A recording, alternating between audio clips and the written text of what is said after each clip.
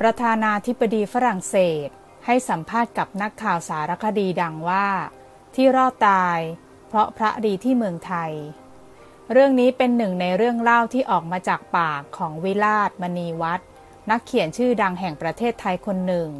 ถือเป็นเรื่องที่มีความน่าเชื่อถือได้มากพอสมควร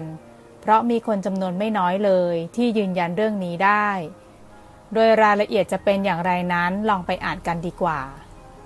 มีนักเขียนชาวฝรั่งเศสคนหนึ่ง แวะมาที่สำนักงานสตูดิโอเทนถนนอัฐการประสิทธิ์ ตอนนั้น 10โมงเช้าแล้ว ทีมงานมากมายตัดต่อภาพยนตร์สารคดีท่องเที่ยว ชุด ชีพจรลงเท้า นักเขียนชาวฝรั่งเศสผู้นั้นยังหนุ่มอยู่ หน้าตาหล่อเหลา เล่นหนังได้สบาย พอเขายื่นนามบัตร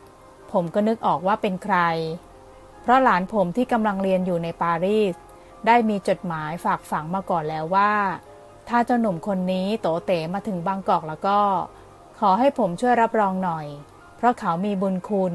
เคยช่วยเหลืออุปการะหลานผมมากในปารีสนักเขียนชาวฝรั่งเศสผู้นี้กำลังเขียนประวัติประธานาธิบดีชาวเดอโก ผู้นำคนสำคัญของฝรั่งเศส วิธีเขียนหนังสือของฝรั่งเศสนั้น เขาใช้เวลาค้นคว้ามาก อ่านหนังสือกันเป็นตั้งๆ เท่านั้นยังไม่พอ ต้องเที่ยวสัมภาษณ์ใครต่อใคร ให้ยุ่งไปหมด แล้วเอาเรื่องราวมาปฏิปต่อกันเข้า ภายหลังจากที่ได้สอบถามแล้วว่า เรื่องเล่าเหล่านั้นเชื่อถือได้ เขาบอกว่าจากการสัมภาษณ์นายพลคนสนิทของเดอโก เขาได้ทราบว่า เมืองไทยมีพระดีอยู่องค์หนึ่ง และตอนที่เดอโกถูกยิงด้วยปืนกล กระสุนปืนกลถูกรถพรุนไปทั้งคัน แต่เดอโกก็รอดตายมาได้อย่างมหัศจรรย์ภริยาของเดอโกเชื่อว่า เดอโกรอดตายในครั้งนั้น เพราะพระผู้มีอภินิหารยิ่งใหญ่ในเมืองไทย ได้เสด็จไปช่วยชีวิตไว้ เขาบอก นักเขียนฝรั่งเศสคนนี้เล่าต่อไปว่า เขาเองไม่เชื่อในเรื่องอภินิหารและสิ่งศักดิ์สิทธิ์ แต่ก็มีใจกว้างยินดีที่จะรับฟัง เขาจึงได้ไปที่สถานเอกอัครราชทูตไทยในปารีส สอบถามคนไทยที่นั่นว่า เคยได้ยินเรื่องพระไทยสำแดงอิทธิฤทธิ์ไปช่วยชีวิตประธานาธิบดีเดอโกหรือเปล่า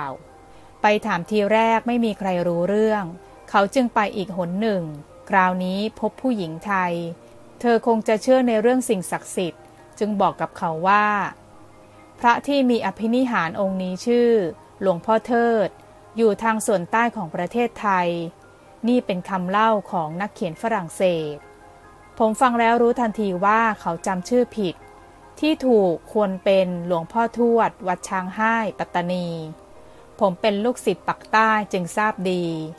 นักเขียนคนนี้อุตส่าห์บินมาเมืองไทย ก็เพื่อจะถ่ายภาพหลวงพ่อทวด เอาไปลงประกอบในหนังสือประวัติเดอโก ที่เขาเขียนจวนจะเสร็จแล้ว ผมบอกว่า หลวงพ่อทวดมรณภาพไปนานแล้ว เวลานี้มีแต่พระเครื่อง ถ้าจะถ่ายรูปก็ต้องถ่ายพระเครื่อง ซึ่งคนไทยถือกันว่า ศักดิ์สิทธิ์มาก เคยช่วยชีวิตคนมามากแล้ว แต่บอกตรงๆ ผมก็สงสัยเหมือนกันว่า หลวงพ่อทวดรู้จักนายพลเดอโกได้อย่างไร คุยกันอยู่ครู่ใหญ่ ๆ หมดน้ำชาไปกาหนึ่ง นักเขียนฝรั่งเศสบอกว่า ไหนๆก็มาแล้ว จะขอเดินทางไปปัตตานี ไปถ่ายภาพวัดช้างให้ และจัดสัมภาษณ์พระในวัด หรือชาวบ้านบางคนด้วย มันเป็นเรื่องน่าสนใจ เขาว่าคนฝรั่งเศสเอง ก็เชื่อในเรื่องของอภินิหารและสิ่งศักดิ์สิทธิ์ ก็มีอยู่เป็นจำนวนไม่น้อย ผมก็เลยต้องไปปัตตานี ไปเจอเอาเพื่อนจุฬารุ่นก่อนผมปีหนึ่ง เขาเคารพนับถือสมเด็จหลวงพ่อทวดมาก เขาจึงให้หนังสือเล่มเล็ก ๆ ผมมาเล่มหนึ่งชื่อ อภินิหารสมเด็จหลวงพ่อทวด ผมจึงแปลเป็นเล่าๆให้นักเขียนฝรั่งเศสฟังว่า ในราวพศ 2504 หรือพศ 2505 นี้แหละ ได้มีการปลุกเสกหลวงพ่อทวด ทางวัดได้ส่งพระเครื่องจำนวนหนึ่งมาให้จอมพลสฤษดิ์ธนรัตน์เพื่อแจกจ่ายให้แก่นายทหารคนใกล้ชิดบางคน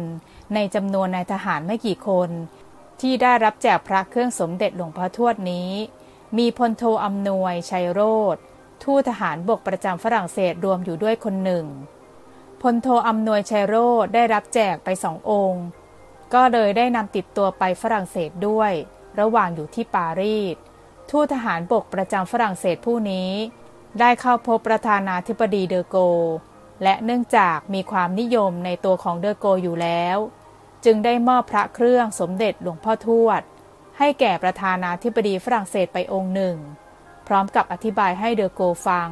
ถึงความศักดิ์สิทธิ์ของหลวงพ่อทวดว่า ถ้าอาราธนานึกถึงด้วยความเคารพแล้วก็ อาจสามารถเสด็จไปช่วยเวลามีภัยมาถึงตัว ถึงอยู่ฝรั่งเศสก็เสด็จไปถึงได้ เพราะในโลกแห่งความศักดิ์สิทธิ์นั้น ลัดนิ้วมือเดียวกระพริบตาทีเดียวก็ไปถึงฝรั่งเศสแล้ว เมื่อได้พระสมเด็จหลวงพ่อทวดไปแล้ว